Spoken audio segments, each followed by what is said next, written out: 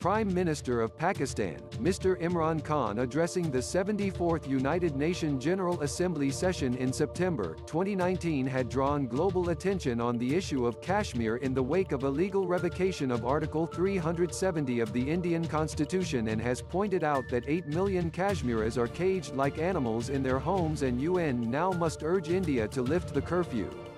He emphasized that it is also a test for United Nations.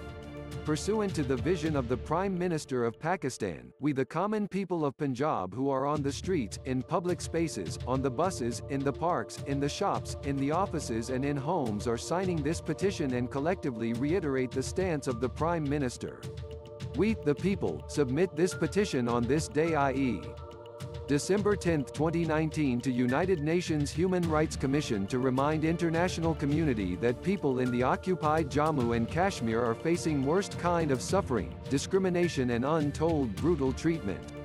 We, the people, stand by the people of Kashmir, through thick and thin and demand that international community must act now and to stop this genocide. We, the people, also demand to end of these human rights violations as well as lifting of curfew in occupied Jammu and Kashmir. Government need your support, contribute your right for Kashmiris, link in the description. For Kashmiris,